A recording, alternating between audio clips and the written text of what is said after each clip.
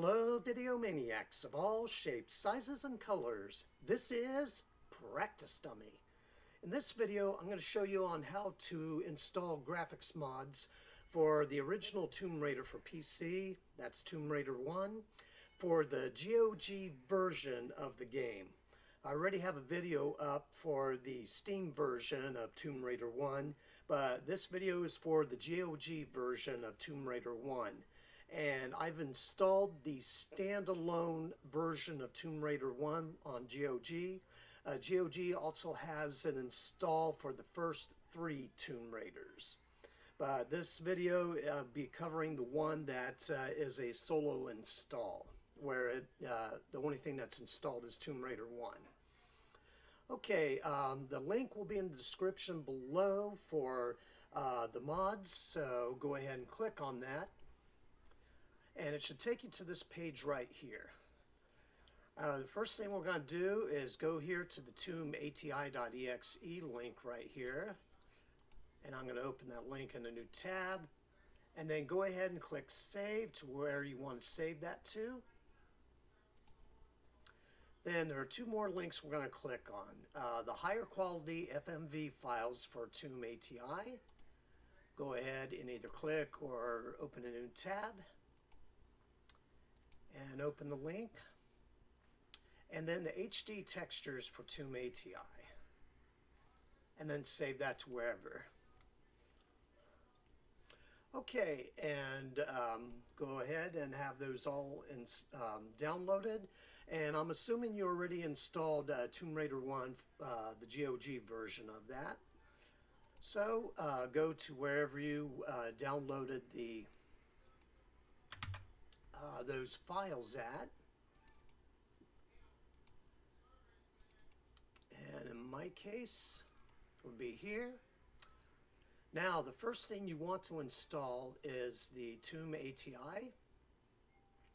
So want to double click on that, click Run, and then on the destination folder, you want to go to where you installed uh, Tomb Raider 1, the GOG version. So you want to click Browse, and in the normal case, it'll be in your C drive, GOG Games, and Tomb Raider 1. And you want to highlight Tomb Raider 1, and that's where you want to install that at. And go ahead and click Install. And on the C++ redistributable, go ahead and click I agree and install. If you got Windows 10 or Windows 11, this is already installed, so it's just going to have you close out of that. Okay, now you should see um, install from GOG and ready to import. So you click install. And that's all you have to do. Go ahead and click done. And then you'll get three icons on here. And you won't need to do anything with those yet. Okay, the next thing we want to do is go ahead and click on HD textures. Now, we want to browse, but this is going to be a little bit different on where you, you put the location at for that. Whoops, go down the GOG games again. Uh, we're going back to the Tomb Raider 1 folder. However, want to open that up and we want to stick this where it says Tomb ATI and highlight Tomb ATI. Click OK and go ahead and extract there. All right, and now for the final file, Tomb ATI HQ FMVs. Go ahead and click on those. And you see the path is already laid out here is the, the last path you had. So go ahead and just click extract there.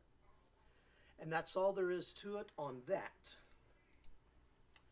Okay, um, open up Tomb ATI config and then you choose the texture pack and it should show TR1 HD and Tomb Raider 1 is selected. Now if you want to play the Tomb Raider Unfinished Business you have to open up the Tomb ATI config and select Unfinished Business. And then go ahead and click uh, Done once you selected what you want to select on there. And all that's left to do is to uh, open up and play the game and I did not add the, uh, oh wait, yes, my apologies. I was looking for the Steam shortcut that I did not create, but go ahead and click on Tomb ATI and you'll start up the game. I'm going to skip through that first part there. But here's the uh, FMVs. Um, it looks um, as good as you can get on there, and it's less pixelated than the original game.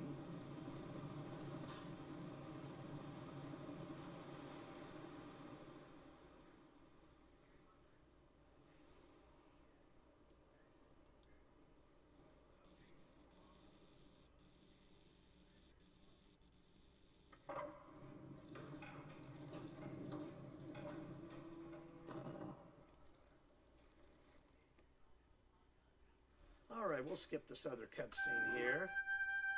And we'll show you a little bit of the game.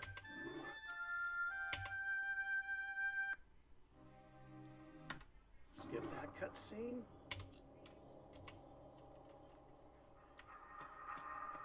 And here you go, Tomb Raider 1 uh, with graphics mods.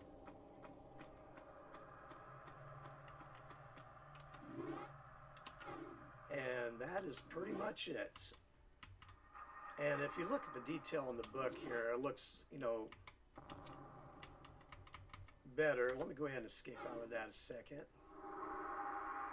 And then real briefly opens up and yeah, it looks like it's got some details there.